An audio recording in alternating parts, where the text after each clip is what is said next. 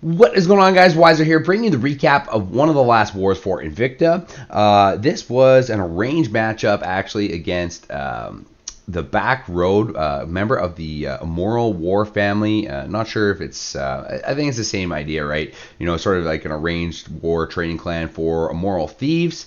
Uh, now, the idea here was Invicta was supposed to match Back Road, and then 2.0 at the same time was supposed to match uh, Immoral Thieves. Unfortunately, we did not land that matchup over in 2.0, but oh well, is what it is. So, great war here, nonetheless.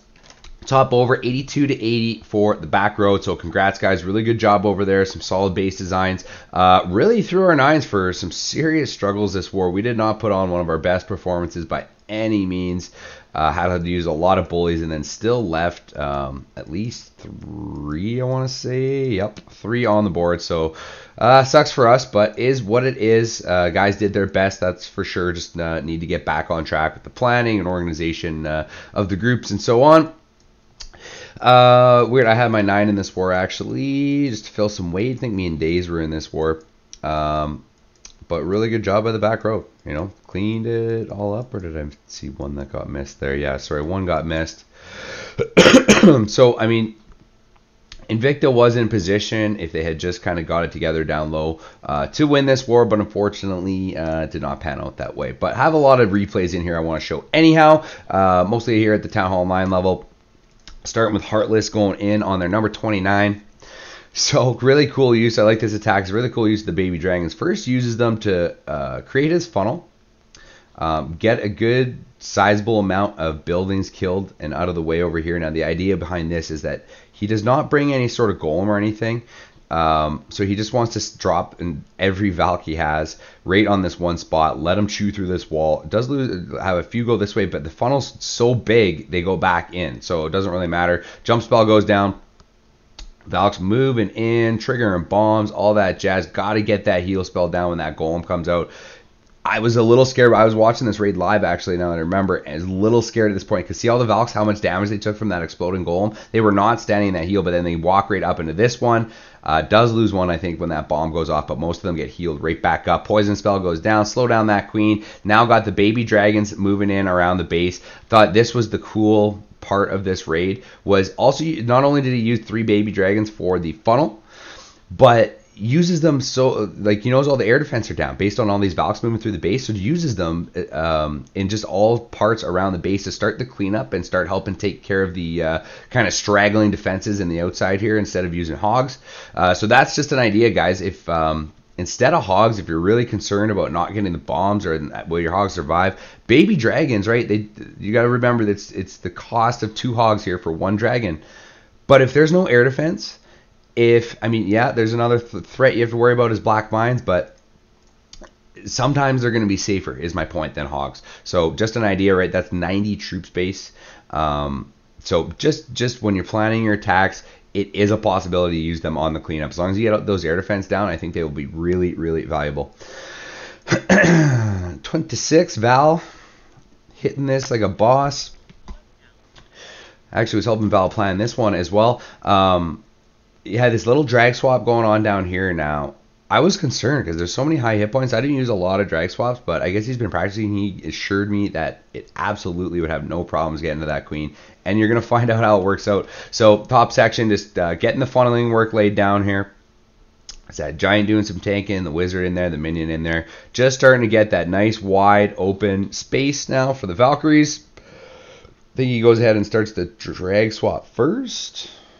I don't remember. I watched all these last night. Then got too tired to actually do the recap. yeah, so here comes the drag swap. He always does this. Poison down first, loon in next. The reason for the balloon is if there's a black mine in there, wants the balloon to eat it, not the dragon. But see, even just one dragon immediately locks onto that queen. So really good job um, on that read there, Val. Now he's free to go ahead and send in the Valkyries here from the 10 o'clock. Wall breakers are in, opening that up. And in goes everything nice and easy. He's going to get that jump spell down. Now, we are talking about this too. Look at that perfect jump placement. He, he did not want to connect the side compartments. He wants them going through this one and only compartment leading into this section of base. So poison goes down. Minions doing a lot of damage there, but they're getting poisoned. So that, uh, that um, really slowed them down. But Did lose a few Valkyries in the process. Was a touch late on that heal, but no big deal. Still has about four or five, I think, at least in there. His King's in there, full health still, the ability unspent. Queen started taking a hike around the base, but it actually ends up working out fine. Hogs start coming in from two, just taking out those outer defenses. Just boom, boom, boom, boom. Gets a cleanup whiz down nice and early and things are looking good from this point. Just needs to get through the uh, Teslas there and jump onto that X-Bow. Queen's going to step up and start working on it right now. Beautiful. Down it goes. Down goes the Archer Tower. A Couple crap buildings up there, but no matter. Tree stars in the bag for Val. Oh, yeah, I forgot. the stray bomb. Doesn't matter. Good job, buddy. And moving up the chains. What do we got? 20 going in on the question mark base. Good old Apple. It's like, hmm, buy an Apple and you can read my emojis. Sorry, Apple. Ain't to happen. Anyhow, nice wide funnel. Lots of wizards here, right? Six wizards all on the outside, just getting the funnel down instantly. All the buildings go down. Wall breakers are now in, opening that jazz up. Golems are going to reroute here in a moment, right into there. Double giant bomb in the outer compartment. I'm not a fan of that, guys. That just is not protected enough because a kill squad like this can quite easily trigger it, get that CC pulled out. And really, all you got to worry about is the queen. Um, something I thought was interesting was these hogs here.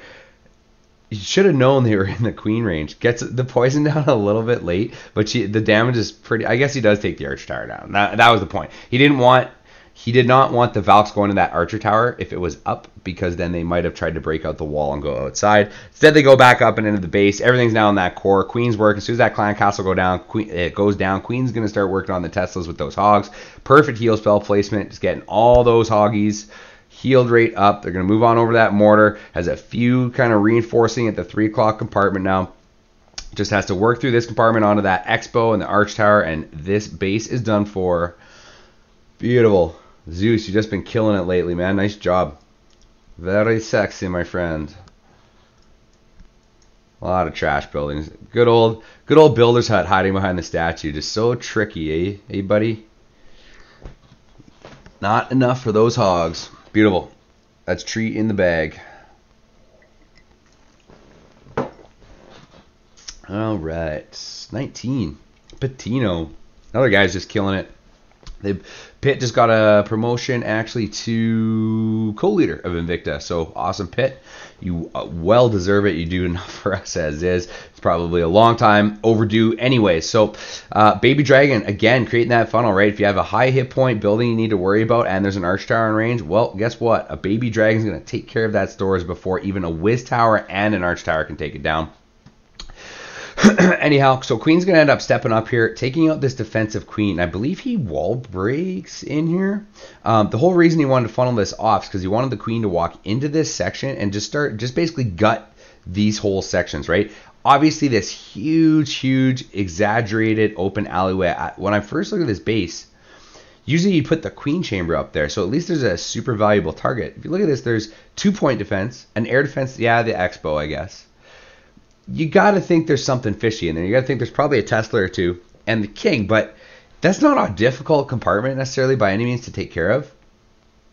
So what uh, Patino does here is okay, little queen walk. I'm going to take care of the queen, wreck this whole section of base, pull out that CC. Now phase two is going to commence into this insane value of a kill squad entry uh, entry here. Look at this: three cannons, two archer towers, an X-Bow, all just bang, bang, bang, right away. Well, let's just send a bunch of Valks in under that, and they are going to absolutely shred that compartment.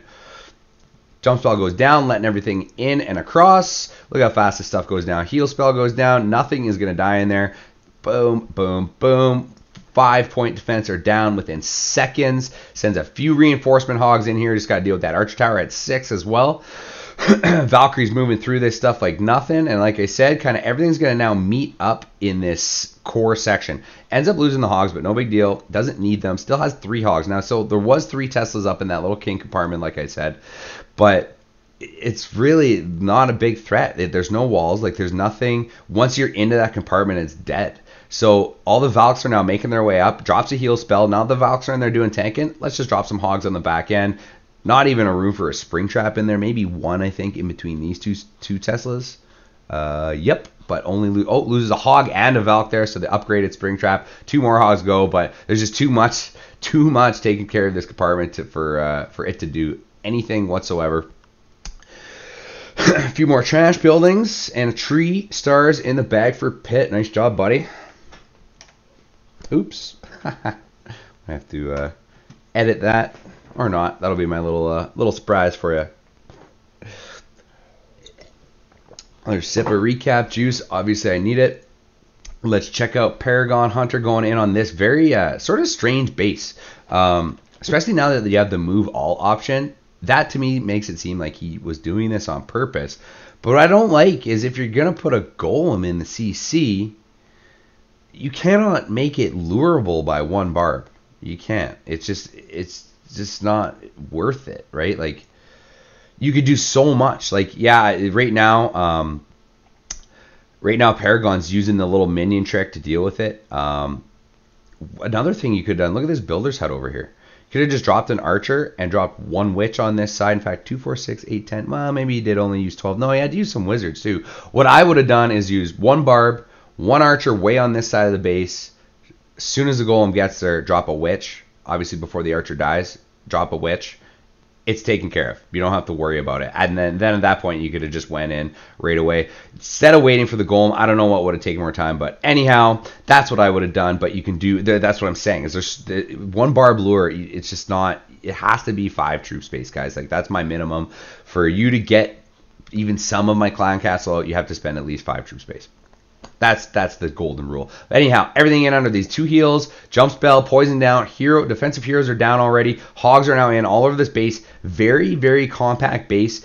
Um, so not the best for Valks, but realistically, um, with the hog support coming in, there's just not enough room for traps in between. So you can really deploy your hogs very very. Um, well here, knowing that you can drop them in certain spaces that you're not, you just don't have to worry about traps. I mean, does lose one to a spring trap, but uh, not the greatest spring trap against the wall there. Anyhow, one more defense to go. Bunch of bunch of trash on the outside. Like I, the idea of this base, I just I don't know. The clan castle I didn't like, but is that all the defenses are in the inside and it's got just so much trash packed around the outside. But the problem with that is when you get hogs and valks into that, it your defenses go down too quickly. There's just not enough space in between them. Anyhow, tree in the bag for Paragon. Nice. All right, so I'm just gonna show one more. Uh, like we, you know, Black Road. Hats off to your Town Hall Nines overall. I mean, we uh, we sucked it up big time, and uh, yeah, I think we used like five or six bullies. Uh, I want to say at least five bullies, but anyhow, I wanted to show this one this is a bully on a uh, Town Hall 11, Max Town Hall 11 versus a Max Town Hall 10. Um, only reason I want to show this, I was I showed this in one other replay. Was we're just gonna pause this real fast. Was um, anyone? I, I, just feel that a general public could really benefit from learning this bully attack.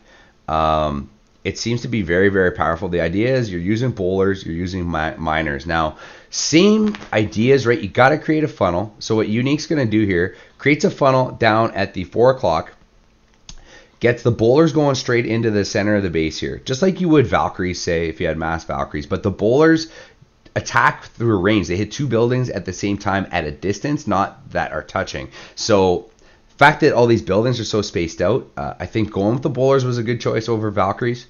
And then what he does to make sure the bowlers continue through the center of the base, uses this section at the two o'clock to drop all his miners. Now the miners are great for, to create these like sort of in base funnels because you know the miners are, aren't like hogs, right? They're not going to target the defenses. So they go in and take out every building in their pathway. So they're going to kind of funnel in and stay, basically move from the 2 o'clock up to the 12 o'clock, take out this whole compartment. And what that does, it keeps the bowlers moving in a straight direction across the core. Um, and then everything kind of meets up in this section and just works down here and finishes the base off. Anyhow, we'll watch this real quickly. Again, it is a bully, so nothing too too crazy. I just feel that uh, the general public could get a good idea because this will you don't necessarily need a max grand warden to make this work, especially if you're not against a max town hall 10. Um, you know, get get those max bowlers going, get those max miners going, um, and this can be done with lower hero uh, heroes. Um, But as you can see, does have a couple bowlers walking. It doesn't matter. Gets most of them going in. So see what I mean? All these miners are now in from the 2 o'clock. So they're just going to smash all these buildings on the outside. Not going to make any of the bowlers kind of straight up at all. They're going to go down to this rage and force right down onto that Inferno Tower, which is exactly what he wants. Still has that freeze spell. As soon as that X-Bow locks on, boom, freeze is going to go down. Oh, gets the Tesla instead. I would have probably opted for the X-Bow. Could have got all three there, I think. But no big deal, right? Miners doing their thing, going to finish off that Town Hall and then continue to work down. And again, just kind of start forcing everything in a uh, uh, counterclockwise rotation. He's got healers in there still. Queen is it has to hit her ability in a moment. There it goes, to rip through that wall, finish off part of this base. Right, got the warden in there. Like, just there's just too much left for this base. Absolutely, just smash this hit. Nice job, unique.